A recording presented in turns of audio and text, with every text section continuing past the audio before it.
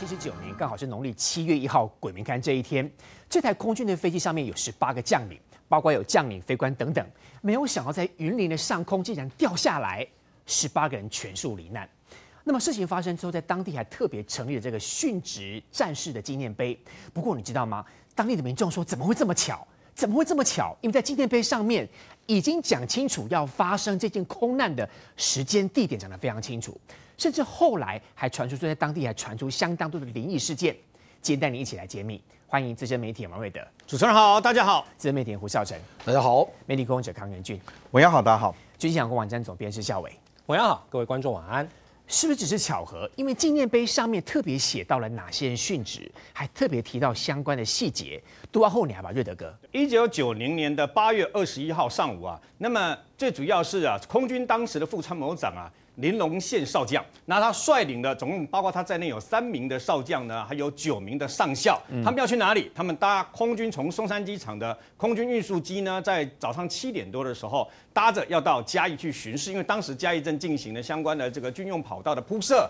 他们要去了解这个工程就对了啊，要督导这个工程。所以呢，他们在七点五十分的时候，这个专机呢，运输机就从松山机场起飞。很不幸的是，他们的专机呢起飞本来要去嘉义嘛，那么在经过云林的时候，在云林的上空，因为有雷雨包。就遇到了大型的雷雨包，天气不好是吗？对，没错，那种大型雷雨包是非常可怕的哦。那如果飞进去，我有一次飞到这个台湾跟日本上空的那个雷雨包进去以后，头可以人人如果走在这个走道上去上厕所，一个一不小心哦乱流，然后头就撞到那个天花板，哦，那么你知道那个很可怕，撞到会流血啊，你知道吗？那很可怕。那他们就因为这样撞，那等于说遇到雷雨包了以后呢，飞机失事摘下来，摘下来以后呢，再到附近等于说云林东市相关的一个呃田里面就摘下去了。很不幸的，包括飞行员在内呢，总共有十八名的呃，这个等于说相关的空军呃将硕将士跟这些呃驾驶呢就死亡了哦。那当时因为这发生这个事情，又有三名少将跟九名的上校在上面，都是官呢，对，很官，那官很大，所以呢，包括来自于军方、警方、消防人员，然后包括很多大家全部都跑来就对了。震惊社会，对，没有错，全部都跑来了。那来了以后呢，那包括媒体采访啊、救难啊、看热闹呢，把这个当地呢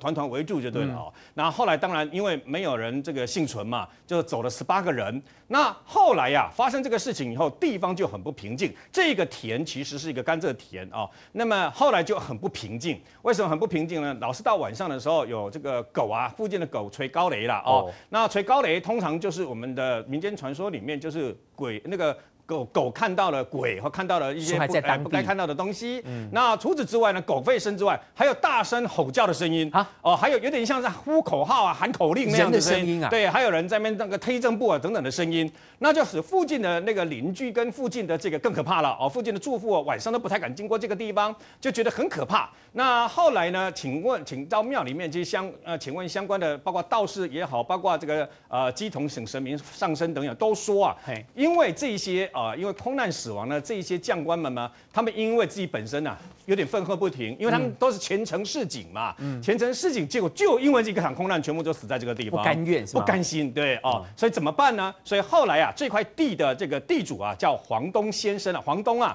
那么他人啊，草头黄啊，东西南北的东，他人是非常的等于说啊，很很有这个呃人人情义理的，所以他就先立了一个碑，哦，先立了一个纪念碑，然后在这个地方希望能够纪念这十八位将士哦。那立了碑以后呢，还是有一些事情，还是啊有这些所谓的灵异传说不断，所以后来呢，呃，经过这个等于说神明只是说，可能要给他们盖一个庙啊，来收容他们就对了啊，那让他们可以享受这个所谓的香火嘛。那后来呢，啊，就这个碑之外呢，啊，就立了一个庙，那本来叫做十八将军庙。因为军方有意见，因为你你有听过忠烈祠，没有听过忠烈庙，感觉上应该全部放到忠烈祠去，对不对？问题就在这个地方，就是说，如果你应一定要盖纪念的话呢，那你必须要盖祠，而不是庙哦。因为军方里面祠是一个纪念的性质，是那庙是一个民间的传说，鬼神啊，对，不一样，对。所以呢，后来就把那名字改成十八将军祠就对了。说起盖这个十八将军祠，还有一段故事，为什么呢？因为呢，当地的人说要来盖这个十八空军十八将军祠的时候呢。需呃，这个地主说，那因为发生在我自己本身的土地上面嘛，那我自己来负责，因为他其实把那个啊土地捐出来给他们盖那个碑了嘛，哦，那他这时候就说，不然这样好了，那我来负责盖好了。问题来了，没想到这个盖的这个金额竟然高达四百多万，为什么那么贵啊？因为四百多，你必须盖一个等于说比较富、比较呃能够对能够让人家来参拜、比较幽静啊又肃穆的地方。嗯，好，那怎么办呢？那么黄先生呢就召集他的这个侄女，我觉得他的侄女也很伟大。为什么？他跟他的侄女讲说，没有关系，我们现在财力还不够。我们好好的赚，用一年的时间好好的赚钱，好好的存钱，然后帮他们盖这个池就对了哦，拿来拿来等于说让他们有一个可以享受香火祭祀的一个地方。说来也很奇怪的原因是，这一年以来呢。不知道为什么他们子女的生意呢？他们子女的赚钱赚的特别顺利，赚的特别多。很多老客户本来没有联络，都自己来，然后呢赚的钱都是以前的 double 等等哦。所以呢，冥冥之中就好像这十八位罹难者呢，那么他协助他们来赚，把这个怎么说盖茨的钱给赚好，赚回来就对了。果然到了一年了以后呢，终于哦这个几攒够了这个四百多万，那么就盖了这个所谓的十八将军池就对了哦。那为什么会讲到这个地方呢？十八将军池他们会包括啊。有中将有少将，因为他们后来追封嘛，等等哦。那所以呢，追封了以后呢，有两个中将，三个少将嘛。那他们的名字啊，在带队的副参谋长呢，叫做林龙宪嘛。当天刚好摘飞机的那一天，就是我们农历的七月一号啊。所以七月号俗称鬼节嘛，哈，那七月十五俗称中元节，就没想到有一个巧合啦。什么巧合呢？就在第一排的将官的里面呢，出现了他名字最后一个字叫做宪中元啊，连那个顺序这样讲起来都好顺，宪中元这样过来啊，也不知道为什么，对，包括宁建中、曹耀一等等啊过来，就宪中元，大家吓了一大跳，因为刚好他们下来的时间，等于说发发发生这个坠机事件的时候，刚好在中元节的前夕，又是农历农历的七月一号啊，然后呢？在下面的包括后来追正上校、中校等等，对不对哦？里面要出现一个胡伟堂，当然这一切很可能只是一个巧合。可是为什么空军心里面很相关的人那人士里面，他心里会降一下呢？为什么？原来堂前面的县中原，你可以说是巧合，跟时间点。那么后面的虎尾堂啊，其实虎尾堂的尾哦，通常是尾巴的尾就对了哦，谐音。虎尾堂就是空军官校他们自己本身啊，会有一个地方。那个地方叫做虎尾堂，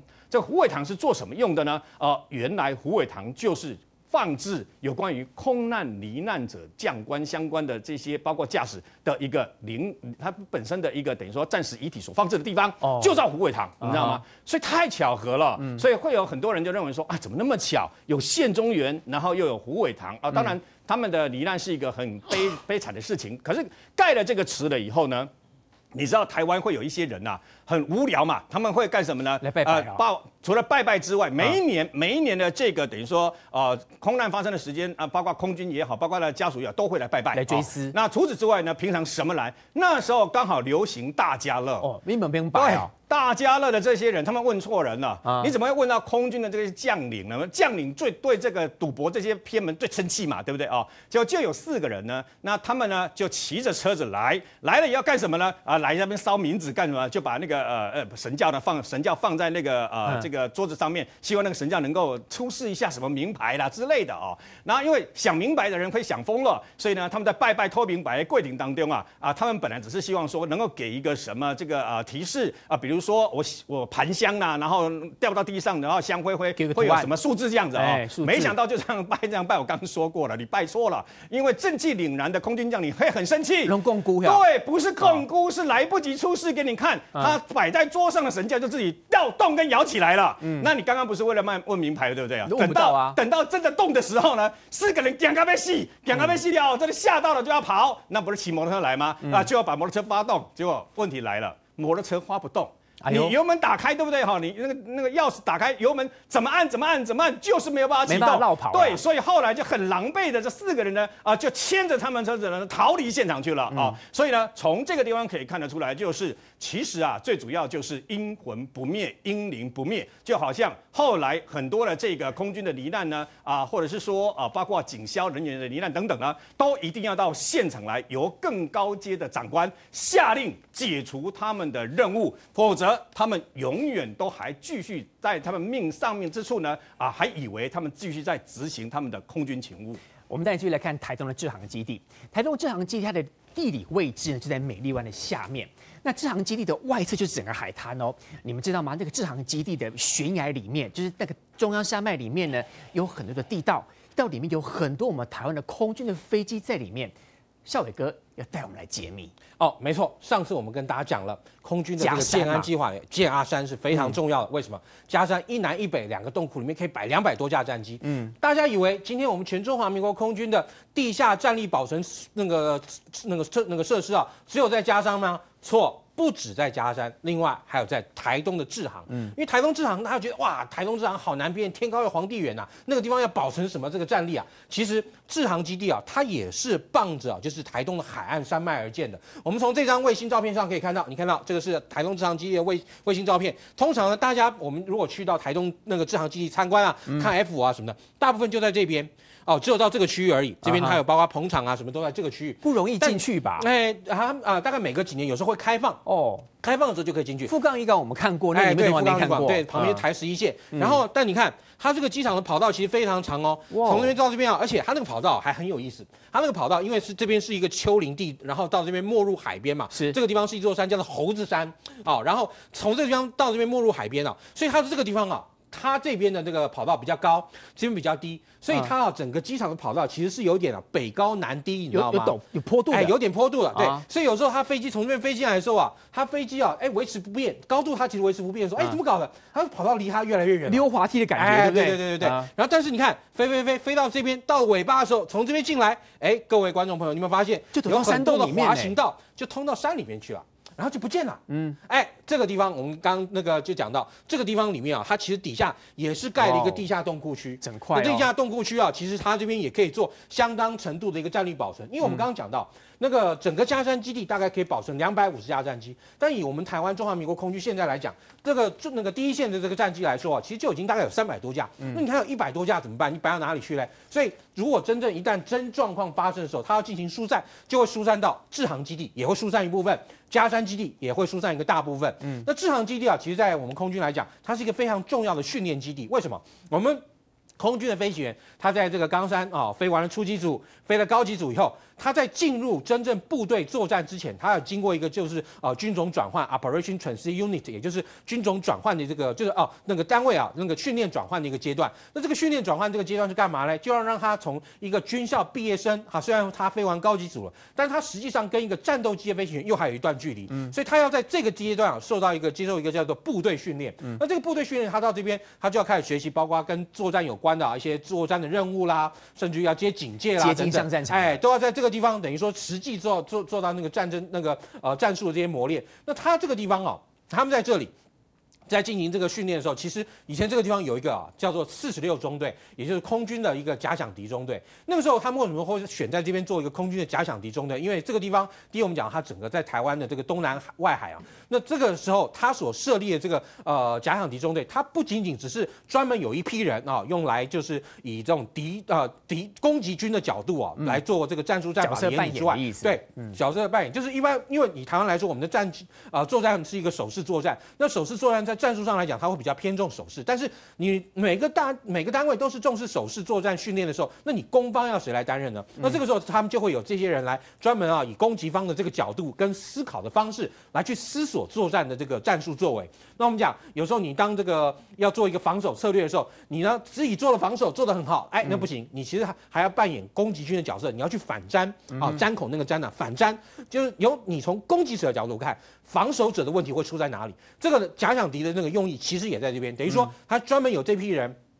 然后他的战术思维逻辑等等都配合到，就是说啊，攻击军的这个可能的这个战术战法，然后照那个攻击军的战术战法来作为一个模拟的攻击单位。那到那个人员到这边来看，这个就是空战演练仪。那时候我们空战演练仪啊，是那个时候台湾来说可以说相当引进的这个空战演练仪的这个技术。它其实呢就是要透过战机上面装一个啊，就是这那个一个夹舱，然后这个夹舱啊，它在飞行的过程中啊，它随时把战机包括像高度啊、速度啊、姿态啊等等就回传到地面，然后这些你看。他们这些人呢，在地面上在做上课的时候，对不对？他就可以借由这套空战演练仪，他直接大家就在地上就看，哎，这个人在上面他犯了什么错误，导致于他因为战术失误啊被敌方攻击，或者战情式的概念，哎，战情式，甚至于哈还他这个战情式可以直接来解析他这个战术。那当然他也可以从到呃每个机飞机的角度来看他周围这个战场的一个状况。所以当时我们空军呢。在台东的制航基地，它最早那个地方叫这个那个炸射班，后来变成了变成这个呃假想敌中队以后，它又设立了这套空战演练仪。当时在周边国家来讲，这是一套很新的一个设备哦，因为空战演练仪那时候不是每个国家都有嘛。但是我们那时候的空战演练仪大概差不多处理的速度啊，大概是可以让十六架飞机进行同时接战。嗯，那但是呢，当时啊，我们刚刚讲到这个十六架飞机进行接战，其实在空战上面来讲，十六架飞机已经算是一个相当。大批量的一个数量了哈，那所以当时我们跟新加坡其实就有一些合作，我们跟新加坡合作，哎，是的，那当然包括我们这个叫做星链计划，所以照片会看得到，哎，对，也就新加坡的这些飞行员呢，他们就把他们的那个飞机啊，从新加坡飞来台湾，所以这个星链计划是我们跟新加坡一起合作演练的，对他来这边呢，因为最主要我们知道新加坡的问题啊，就是在于他自己本身的空域也非常狭小，嗯，那所以他的这个飞行训练啊，其实第一也是摆到像美国的卢克基地或者到世界其他地方去找，那像那个中华民国空军基本上来讲。呃，当时哈有相当多的人呢，去到了新加坡，协助了新加坡空军的建立。所以中华民国空军退役的这个飞行员，还曾经在新加坡空军担任过总司令过。嗯，所以他因此两边的这个关系可以说非常好。所以就在民国八十年代末期，那时候新加坡自己的空战演练也还没有建立起来的时候呢，那他们的人就在台湾啊，到我们台湾台东的这个 ACMI，也就是空战训那个演练呢，呃，来进行这个空战模拟训练，等于说。他们的飞行员来这边啊，他们扮演守方，然后我们的这边假想敌中队的飞行员也一样扮演攻方，然后去攻击他，让他来训练这个攻防的这个战术的这个演练。因为他们虽然是用的是 A 四的这个呃天鹰机。但天鹰机本身呢，其实是一款非常轻巧灵活的一款攻击机。像我们以现在看那个呃呃很久以前那部电影啊，美国那个 Top Gun 捍卫战士嘛，他那时候啊，美军的那个战那海军的飞行员，他们到那个密瑞马那个海军兵器学校受训的时候，跟他们进行啊模拟作战，当时就是有 A 四的这个飞机啊，跟他们进行这个模拟接战，因为它这个飞机啊刁钻灵活、轻薄短小，非常适合啊，就当时啊以那个苏联这个集团来讲啊，它跟米格二十一啊或米格十九那个飞机啊。的等级啊，可以说非常接近。等于说我透过这种不同飞机的这个那个作战呢，跟模拟演练，去培养那种真实接近作战真正感觉的这种战术。原来我们跟新加坡关系这么好，可是为什么新加坡一直很低调啊？啊，当然，因为呃，毕竟就是说啊，以这个外交的这个情况来讲，新加坡毕竟是跟中国大陆偷偷的来这样有正式的外交关系。那他要跟我们做这种军事交流的话，就必须要比较低调，甚至于呢，所以你看新加坡他们对这一类的这个事情，他往往都是绝对否认到的。如果没有照片，谁知道？哎，对。像甚至你看，过去啊，曾经不是在汉光演习，曾经有一架 F 五在那个虎口失事，然后战机的残骸啊，就坠入了那个星光部队的这个营舍，甚至还造成星光部队人员的这个死伤。当时的那个呃，我们的那个国防部长啊，就在电视上证实了，呃，死伤的人员是星光部队人员。当时还引发这个新加坡方面其实还蛮大的一个这个呃抗议啊，所以就知道呃，台湾因为毕竟我们这个。状况很特殊，所以我们跟很多国外的这种呃军事合作都必须要秘密或者说低调进行才行。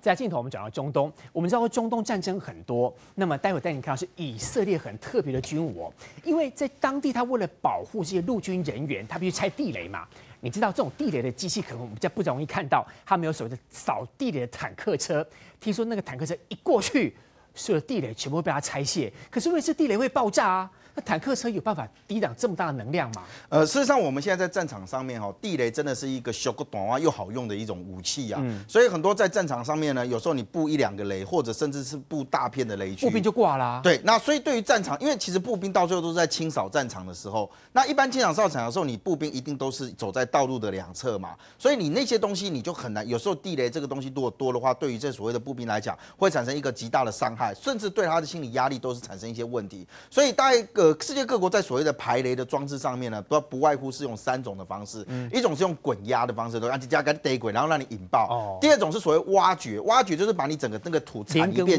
起来。那你如果下面有地雷的话，基本上就这样。可是这也会有一点难度，是因为你去挖它的时候，有时候会因为震动，然后就产生爆炸。对，所以第三种是所谓的火箭爆破式。现在大家一般有的火箭爆破式，也就是让你在这个所谓的呃排雷车上面呢，发出一条火箭索。那这个火箭索长度大概是一百公尺左右，然后借由这个索打出去之后产生。爆炸，用它的爆炸波呢引爆周边的这所谓的布所布下的这个地雷。啊，你现在画面上面所看到的，事实上就是以呃以色列所做的这个所谓 D 九推土机啊，用推的哦。哎，对对对，它其实就是一种工，它是一个工兵的装置啊。那这个工兵呢，它基本上它是一个很大型的一个 D 九，它是一个很大型的这个土木机具啊。你用你用土木机具来想就好了啊。那原则上它一开始在你你可以看到它前面哦，其实都。是我觉得掐到，你知道嘿，他就用哦，哎，那因为它的吨数其实非常非常大，所以它有一个绰号也还蛮可爱的，但是跟它本身看起来完全不像，叫做什么泰迪熊。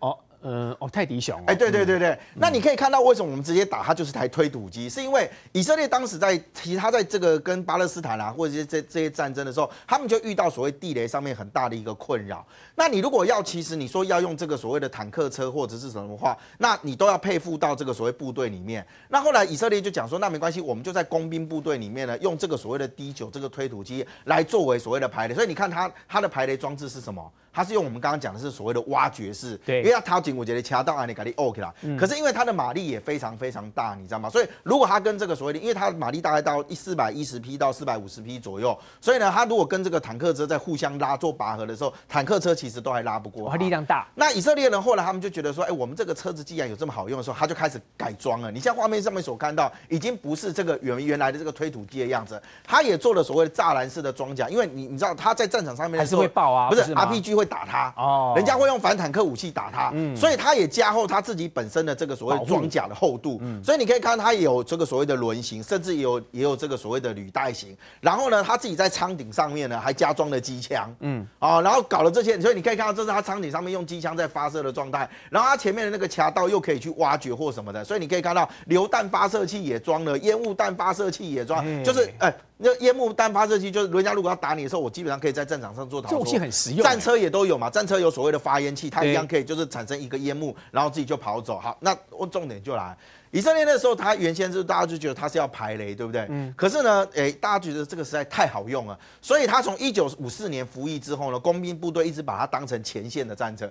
他他当前线的意思就是说，哎、工兵通常有时候是工兵会先行嘛，也要开路或什么，可是他们居然让这台车让他走在坦克先清除地雷啊，对他就扫除所有的障碍，后我们再跟上来就色列认为。说这个比坦克车还好我用，也觉得不错为什么？你看我们刚刚上面写说，在赎罪日战争的时候，事实上呢，他们就让这个所谓 D 九呢在前面先走，然后排除了一些的障碍之后呢，让后续的部队给这前进嘛。可是 D 九后来就成了，就人家就很骂他，你知道吗？因为以色列用的太 over，嗯，一台掐到起来太后赢啊，你知道？所以呢，他后来不是只专责来做排雷，他甚至讲说还没关系，我们让你走前面，对不对？只要前方对于我们的部队有障碍的，你就把它给铲掉，直接压过去。哎，直接就把它铲掉。所以你看哎那个卡到那，你看很多人在抗议，给他丢石头的，为什么？因为他破坏了非常多的民宅。嗯那时候呢，其实，在以色列跟巴勒斯坦战争里面呢，啊，以色列就讲说，好啊，你们这些人都躲在那个房子里面，对不对？那我只要怀疑你在里面装炸弹的，没关系，我就派 D 九。我就 D 九了好多台，我就直接给你挖一挖，就把你给铲掉。所以巴勒斯坦人非常讨厌他，你知道，他就觉得说你你这根本是一个破坏者，百分之百破坏的对，而且他不分青红皂白，全部都挖。他就说啊，反正我只要怀疑你这样，我就开始挖你房子啊，开始堆障碍啦或干嘛的。所以他走在最前面的时候，其实你可以看到很多人其实对他为什么要装那些装甲？因为他也要保护他自己嘛，他甚至连驾驶舱都要装防弹玻璃，然后呢加装他自己所谓的那个那个底盘的那个装甲部分，全部都要加哦，因为他也怕自己受到伤害。不过这个美国款的这个扫雷车似乎比较先进哦，是是放火烧，它也完全不留情面呢。它其实像我们介绍这个 M1 的 ABV 呢，它事实上是由 M1 战车它自己去改装的，所以它把它的底盘给改良之后呢，再做成像现在看到这个。那我们我们刚刚讲到说，是不是有三种，对不对？一、一种是挖掘式的，然后一种是这个所谓的呃碾压过去，然后另外一种是所谓的排雷索。它好像你看它前面其实也有欸这个。也有一个小的这个也有挖夹道，对不对所以它有排雷犁，排雷犁的部分就是它这样用铲的把它给铲起来，这是一种。然后第二种是它车本身车上其实就配置有所谓的爆破锁，嗯，所以它的这个爆破锁事实上也是这样打出去，有没有看到画面上面这个？然后爆破锁打上去，啊，然后呢，它抛到一定的这个高度之后，它就往前打。对之后呢，其实他们就引爆这样的一个爆炸锁，有没有？哇好然后把旁边的这个所谓的地雷全部给炸开那你就。全部都挂啦、对对，这这个这个不是这连个房屋也是挂掉的啊。呃。这样的一个东西其实不是要去打房屋，它有点不太一样哈。就说我们现在看到在战在作战的时候，其实步兵都是走在道路的两侧，所以地雷其实比较少会直接装在马路的正中间。这么说来开路的，哎，它其实都是在道路侧，所以你可以看到它发出去的那个排雷索的部分，其实都是顺着道路边的两侧。六款六，它是顺着两侧，因为它这样炸才能够炸两边，处理掉因为它要保护这个所谓的步兵。那你可以看到它自己本身来讲呢，事实上现在的这种所谓的战车哈，排雷战车，以前以我们刚刚讲说以色列是专门配属在所谓的工兵的部队嘛，那现在很多的排雷车其实就已经是用它现有的战车下去改装，然后再下去改良。比如说我如果一般的这个坦克车辆的时候，我上面只要能够装出能够装这个发射火箭索的这个这个系统来讲，我就可以成为一种这个扫雷的一种做法。那这个是美军的所谓的 M1 ABV 的方式。那以台湾来讲，海军陆战队事实上也有这样，他把就把那个原先的那个两栖的登陆战车，事实上也做了这样的一个改装。那这些方式事实上都是为了让你的这个，你可以看到那个爆炸威力非常大，所以它不是它爆炸之后其实不是只清除一条线，事实上它整个面哈整个面网都可以。所以如果两台的这个所谓 M1 ABV 它同时并进的话，事实上两台如果同时在做这个扫雷的这个状况的时候，你可以看到这样子两台走的时候，它那个道路其实清空之后就很方便后续的人呢能够前进，就会形成一条所谓的这样安全的通道。辅仁大学女学生因为男朋友劈腿，她为了要挽回男朋友的感情，她找征信业者帮忙，但是遇到恶狼，他除了人财两失之后，到最后还失去了生命。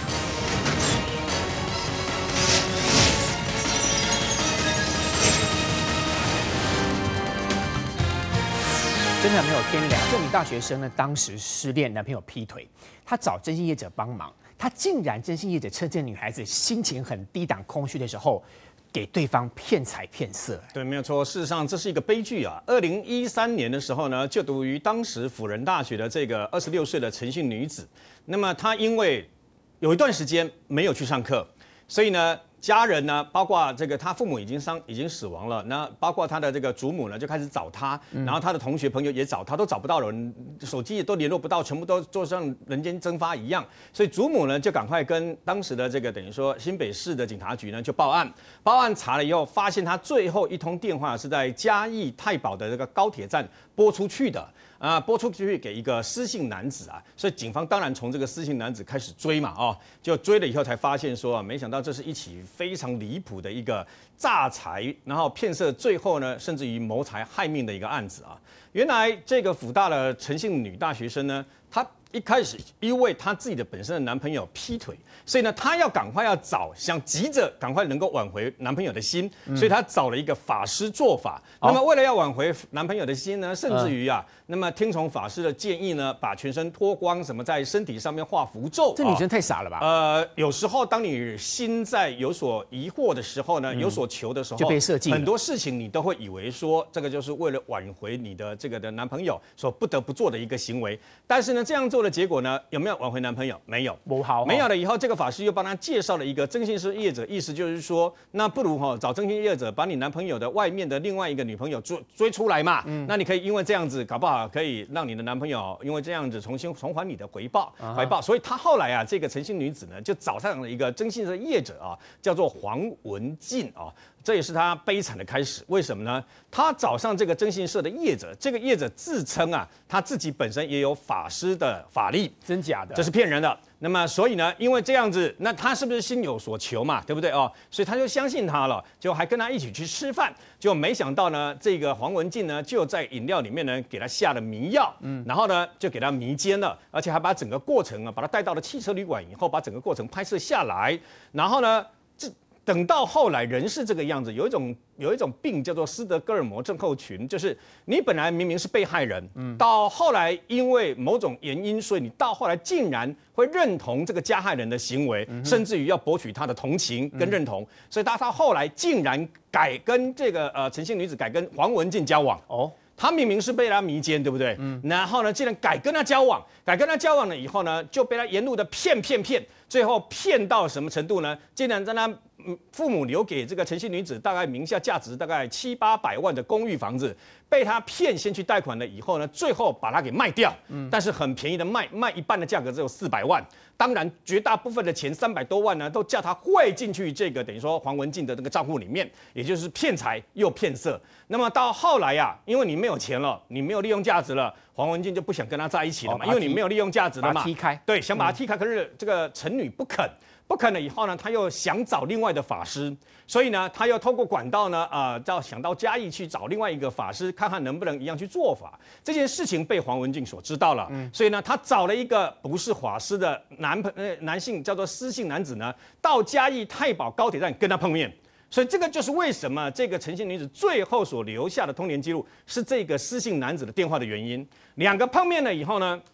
就在车子里面呢，骗他说这个是法师的符水，喝进去以后可以净化全身，就可以等于说呃达成你的愿望了。嗯，所以他当时因为心心有所求，心非常的乱，所以陈姓女子不疑有他，就把它喝了，喝了以后就迷就就就被迷昏了。被迷昏的，对，被带到这个台中来，为什么呢？黄文静就把他带到台中，然后呢，在一间汽车旅馆里面啊，因为他已经没有利用价值了，嫌他啰里啰嗦的，因为把他骗骗了卖房子了嘛，那钱也拿到了嘛，嗯，所以呢，他竟然用啊，他支开这个失信男子了以后，竟然用瓦斯瓶装了滤嘴了以后呢，直接往陈女的这个口皮口鼻喷了十几分钟，就把那个瓦斯里面的这个相关的二氧化碳相关的东西把它喷进去，让她经过十几分钟以后，因为这样的肺部。充满了包括一氧化碳、二氧化碳等等，然后脑部缺氧而死亡，最后死亡。那么最后呢，就把他呃的遗体呢带到台中乌日的一一条溪流啊旁边那个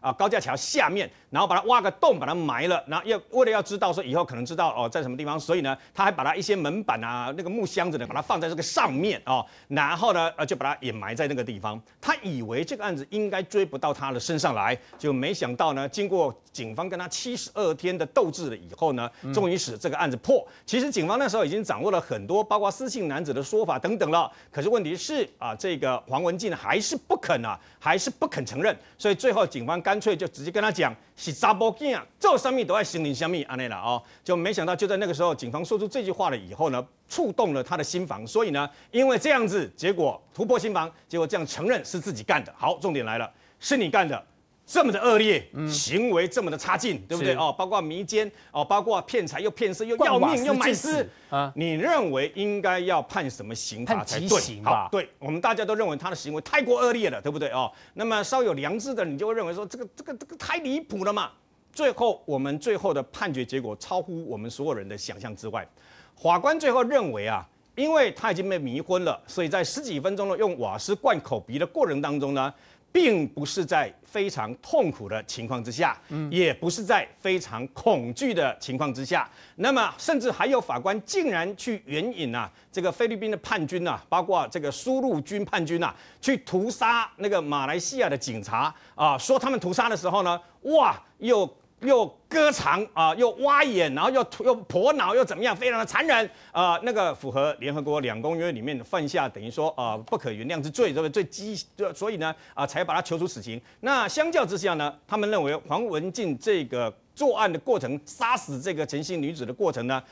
不够痛苦，也没有让他产生非常大的一个呃，等于说呃恐惧，再加上呢，不是这个所谓的极端非常严重之刑就对了哦。最后判处无期徒刑，而我们的最高法院竟然也因为这样核准定验，所以黄文进他现在是无期徒刑定验，而这个官司所援引的判决方式引起哗然，包括这个呃常跟我一起上节目的法医高大成博士，他就非常的生气呀。在这个过程当中，你要知道他不能讲话，并不表示他没有痛苦痛苦啊，你知道吗？为什么你们要用这样的方式呢？那认定一味的片面的认定呢？这个被害人本身是没有痛苦的，因为包括这个所谓烧炭自杀的人，还是瓦斯等一氧化碳中毒的人，活过来了以后，都说那个过程十几分钟是人世间最痛苦的事情啊，因为很痛苦很痛苦，可是没有无能为力，没有办法，这个等于说呼救啊。所以很多的时候，我们的法官显然跟我们的社会认。知有很大的一段距离。另外，也是因为感情走错路。我们来看这个男子很喜欢隔壁邻居的学妹，可是怎么追都追不成。后来他竟然气急败坏之下杀了这个学妹的妈妈，还有他家的三条狗，然后呢，把他们装在行李里面气死。哎，呃，这几年台湾一直发生这种爱你不到把你干掉这样子的恐怖情人的事件哦。然后奉劝很多的那个青年男女哦，在这个爱情的学问上面，真的要好好的再修修一下。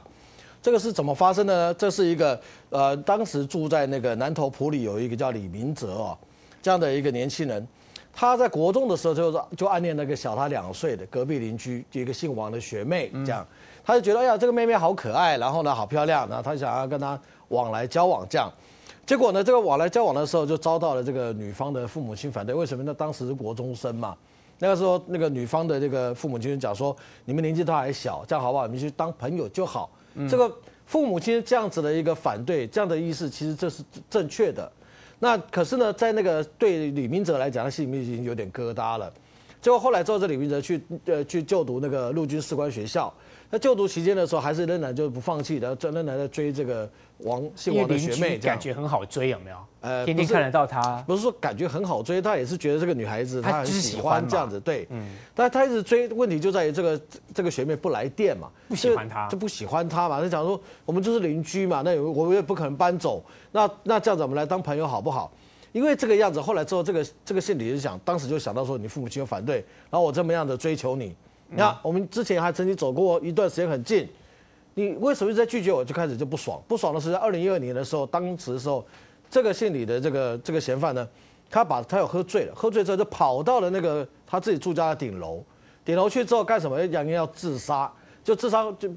未未果就被人家那个就阻止，阻止的时候，那时候就有扬言说我要杀你杀你全家这种话就就冒爆当出来。时借酒装疯啊，呃，当时是不是借酒装疯？很多人认为是，可是后来的发展却却是什么？他并不是真的借酒装疯，因为他真的来。有预谋在隔一年之后呢，这个那时候听到什么？就是因为这个李明哲听到什么？听到说哦，他喜欢那个学妹，有交男朋友了，而且还到了高雄去住了，这样子。嗯。结果这个李明哲那时候听没听起来讲，我爱你爱成这个样子，追你追成这个样子，没想到你居然不理我，也就算了。对你居然还去交了一个别人别的男生，嗯，所以那天他就预谋要要干掉那什么，干掉这个这个就是那个王王姓学妹的那个妈妈，还有包括这个王姓的这个这个拿他的妈妈当出气筒，哎，怎么做呢？他就假借说买了个早餐，有没有？然后呢就敲就敲那个王家嘛，在敲门的时候，那当然那个妈妈一看，呃隔壁的小孩子从小看到大，也没有想到太多，就说啊，那你就进来。他说啊，我买了早餐给你吃。趁着这个这个妈妈不注意的时候呢，他把浴场的那个杀生鱼片的那个刀子啊，然后之后就对着这个母亲，有没有捅了好多很多刀，捅了二十五刀，捅了二十五刀之后，后来之后当然这个妈妈就就气绝身亡，就倒卧在那个客厅里面。可他旁边有三只马尔济斯那小狗，那马尔济斯旁边看到自己的主人，一然后叫吧？主人这个样子嘛，倒在那边，而且都是血，所以那三只狗就一直在叫，一直在叫。叫了之后，他这个李明哲害怕，就是说这个狗叫去惊扰到附近其他的邻居哦，知道他杀人这样的状况，所以他就把这三只狗干嘛呢？就抓了之后就丢到了那个浴缸里面去。之后，那因为马尔济斯很小，腿又短，最后那个他就放水，放水之后就把那个三只马尔济斯有没有就把淹死掉了。嗯，那你今天把人给杀了，把三只狗也杀了，你总要毁尸灭迹吧？李明哲的想法是什么样？就是他那时候就就准备了一个那个所谓大的一个行李箱，把这个死者哈、放到行李箱里面之后，然后再把那三只狗啊，就把它放到里面去，就拖走了。拖哪里去？拖到他当时这个那个附近有一个租租屋处，他当时他自己是个饭店租屋，的地方啊，对他自己的租屋的地方哦，丢在阳台那边去。然后呢，他就打电话给这个王姓学妹，嗯，他说：“我跟你讲，你现在妈妈被我绑架，你不要绑架。如果你要她活的，你要见到人的话，那我跟你讲，最有一个方法，就是我到高雄去，你要跟我发生关系，嗯，好，然后当我的女朋友这样。他其实当时的意图哦，发生关系是有，但是当女朋友绝对不可能，因为他那时候也想杀掉这个这个姓王的这个学妹，嗯，结果他就讲两个人讲好之后，后来他就跑去，没想到什么他在高雄迷路，找不到那个这个姓王的这个这个学妹，那就更气急败坏。一个人蠢到这种程度，也不知道该怎么办了。这样，嗯。然后呢，他就在那边到处那边走走走，最最后呢，他想一想，我都杀人了，然后呢，那这样子还不干脆，又找不到学妹嘛，学妹学妹开始心里面开始有点，应该是有点觉醒掉了。之后他就跑到左营的一个分局哦，就自己去自首。那为什么自首？因为那时候还不知道这个这个王姓学妹的妈妈已经死亡，嗯，所以他这个算自首。因为这个样子的话，后来之后警方才这样子根据他的一个整个提供的一个那个那个口供有没有，才去找到了那个这个这个王姓学妹的妈妈，还有包括那三只狗，就全部都挤在一个那个行李箱里面。嗯，那时候打开来看的时候，那警方在看到之后吓坏了。嗯，为什么？因为实在整个的画面太恐怖了。后来之后也因为他自首。符合所谓的减刑条例，他就他就被呃被判了多少？判了二十年的有期徒刑。我们来看这个军武的竞赛当中哦，这个是俄罗斯说他们的苏凯这个米格二十五可以比音速快三倍的方式穿越所有的距离。如果以三倍音速来看的话，以台湾四百公里来看，大概八分钟会穿越。这么那么厉害的军武吗？不过后来真的被打脸，因为有那么一台米格投诚日本之后，真相大白。哎，对，米格二十五啊，当时是前苏联所研发的，号称超音速三倍的拦截机。嗯，为什么要搞这个东西？你知道？因为我们知道，在整个这个美苏的这个冷战时期的军武竞赛中，美国弄出了两种武器啊，让俄罗斯啊感觉如芒刺在背。我们都知道，讲了很多次啊，天下武功啊，无坚不摧，唯快不破。哦也就是你的速度快的话，对不对？啊那对起啊打不到我了防守者就很就很你找不到我嘛就像刚刚文妖所举的例子，那个如果是一架 SR 七十一哦，从台湾的尾冲过台湾头，了不起六到八分钟。里面的人受得了吗？速度那么快？没有像以 SR 七十一来讲，他那个飞机啊，他坐在里面，他那个人要穿太空装啊，哦哎，要穿的跟太空装一样，而且啊，他那个飞机啊，全机是用钛合金打造的。好轻哦！哎，钛合金轻，而且啊，它可以防那个防止温度。嗯你看啊，这个就是米格二十五，你看它飞机后面的发动机的那个喷嘴有多大，好大所以呢，美国又有 SR 七十一，而且那时候美国它其实还开发一种更可怕的武器啊，叫做 Valkyrie，也就是战神式杯啊那种轰炸机。当时美国人研发这种战略轰炸机的时候，就是要用三倍的音速冲进苏联呢、然后去丢炸弹。哦然后丢核弹，就是你看现在 X B 七十、那全世界啊，当时做了两架，现在只有一架。这个飞机很厉害啊，它上面装了六具发动机，可以让这个飞机的这个飞行的速度哦达到音速三倍。你看哦，这样你多 K 哦，这么大一架轰炸机哦，他真的做得到吗？这一真台的真真的美国做得到啊音速三倍，对，音速三倍哦。而且因为它本身啊，你当然你看像这样音速三倍的飞机，它不可能丢传统炸弹嘛，嗯它一定是丢核弹嘛。所以那你说对于苏联来讲，哇塞，美国人搞了这么一个音速三倍的轰炸机，随时随地要冲到我家里面五来丢核弹，十年前就准备要丢核对弹了。而且哦，你看，你看尾巴六颗，六颗哦。嗯，那你看苏联那么大，它空军基地不可能盖得像台湾一样密密麻麻那么多，对不对？所以这个时候，那苏联就必须要知道，它的唯一能够能够成功拦截 SB 七十这样轰炸机的机会，就是要靠一个速度够快的拦截机。所以他们就决定开发了米格二十五。你快，我比你更快。对，因为你看，如果今天你三倍音速冲进去，你至少你的速度也要三倍，甚至于三倍音速多，你才有可能从那个拦截那个呃的位置去追上它，然后对它进行拦截嘛。所以当时苏联开发这款飞机以后，而且那时候因为你知道美国跟苏联啊，经常都会举行一些那种飞行的那种测试啊，所以当时米格鼠出来之后，因为它的这个发动机特别大，所以它啊不管是在爬升率或什么，创下了相当多的世界纪录，让美国没有办法打破。你看，所以它有八项飞行速度，然后九项飞行高度，然后爬升时间的世界纪录。那时候美国人看，哇，这飞机是那么厉害啊，那还被超越得了啊？嗯我们怎么超越啊？但结果后来发生一件非常有意思的事情啊，它这个飞机啊，就是啊，当时苏联啊在远东地区啊有一架有一个叫贝伦科的一个美国那个俄罗苏联空军的飞行员，把这个飞机啊。飞到了哪里啊？飞到了北海道的函馆，而且那天其实还很夸张哦。为什么？你看这个飞机最后是停在草地上，因为它啊一起飞之后，它就利用超低空的方式啊，躲避了苏联自己的雷达侦测，然后飞到了北海道。因为它飞到北海道的时候，没那个连那个日本的飞机都不知道要起来那个紧急起那个来起来拦截哦，所以他那时候就在函馆的那个机场，然后就降落下来，而且因为啊，它降落方向啊是顺风，因为它为了它飞行的方向，所以它那时候。它降落一降落的时候，其实还有一架那个日本的客机就在那个跑道上开始加速准备起飞，就看到前面有一架米格二十五冲下来，你知道那个机长吓死了。那同时那个日本那个苏联飞行员其实反应很快，他马上降落，但也不管，因为他不要撞到，所以他就把飞机往转个弯一偏，然后飞机就冲到这个外面的草地上。那后来当然啦，你说这个飞机到了这个呃日本人手中啊，那美国人当然很开心啊，哇！这个传说已久的这个米格二十五终于到了我手上了。那当时你说，虽然以这个美国、那个日本跟苏联之间呢、那当然你说飞机不可能扣留嘛，但是在扣留交还回去之前，哎哎哎，美国跟这个日本的这些航空专家们就来好好的检视一记，就来探虚实，对？哎，来看看这飞机。机。但你讲不检视则已啊，一检视，我靠，真的是说这是什么玩意儿？为什么说这是什么玩意儿？因为你想那时候美国来讲，美国认为你一个速度能够飞到音速三倍的飞机，嗯一定是集高科技或者是先进的航太技术于一身，对不对？嗯结果一看。对不起啊，这飞机有很多地方不是用那个呃钛合金打造，那是居然是不锈钢。哦，哎，而且飞机表表面啊，像那时候美国人他们坐飞机啊，他们已经都用那个平铆钉啊，嗯然后但这个飞机呢还是用凸铆钉。不锈钢跟钛合金差很多哎。对，然后另外发动机啊，因为像我们知道，你你我们开车也知道，你速度其实到了一定的那个速度以上，对不对？它那个速度会进入一个红线，对不对？然后他们发现，真正米格二十五的这个速度表到音速二点八倍以上啊，就进入这种所谓的红线区。嗯，然后也就是它其实啊，这个发那个，而且啊，因为你今天不止就是说它检视硬体、软体啊，那个贝伦科啊，那个飞行员啊，也跟他们讲很多哎米格二十五操控的一些相关事宜啊。啊美国人才恍然大悟，原来这飞机。实在是我的天，实在是对美国人来讲，天呐，怎么这个怎么三倍是吹牛就对了。它还真的飞得到，哦是一个特定的状况下飞到。哦为什么？待会我们再讲。就是发现啊，搞了半天原来是一个这么低阶的这些东西，然后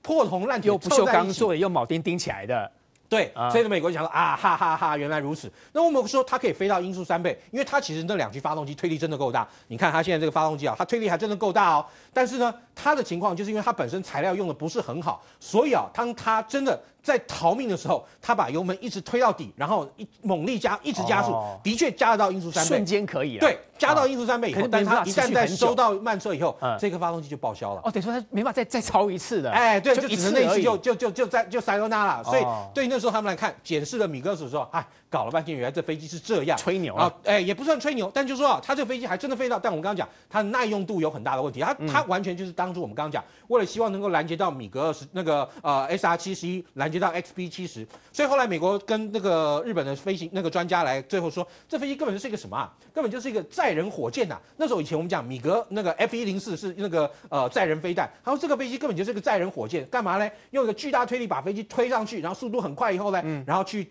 到那个到拦截位置发射飞弹，去拦截他们港那个讲的那个飞那个美国那两种飞机。当然呢，最后后来是怎么样嘞？这个飞机后来其实在俄罗斯空军也用没有多久，现在是俄罗斯开发另一款新的飞机去去那个替换它，就叫做米格三十一。米格三十一的飞机的外形跟这个飞机还是很像啊，但是它包括在雷达、航电还有那个武器上面来说，跟米格鼠来说就是一个完全不一样的东西了。没有想到小海豹猛指说破表，他会自拍哦。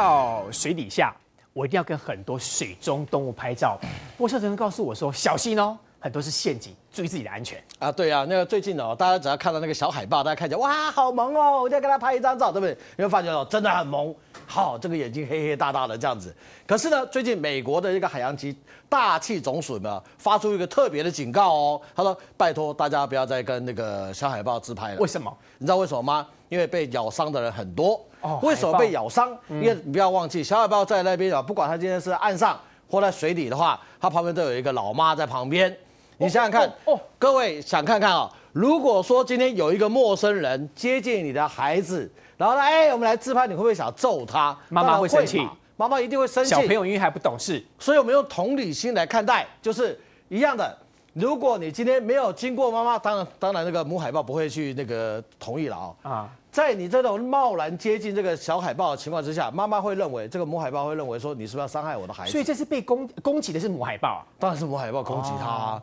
母海豹比较没那么可爱，你不能这么说，人家母海豹人家也是从小海豹有没有，然后慢慢慢慢长大，它有母系的光辉啦你就知道被攻击的这个样子的一个状态。嗯，这是国人嘛比较在这个部分上面不会有去这种熟悉的地方。不过那园方它本身也要特别注意一下游客的安全。当然是这样子。到另外一个部分哈，对于北极熊来讲的话，如果你今天不管你是不是戴上所谓的海豹的帽子，你像我们现在看的美眉有没有戴一个海豹帽？你要发觉那个北极熊马上冲过来嘛，咚一下就撞到那个玻璃。再有。一面那个玻璃，当然是因为在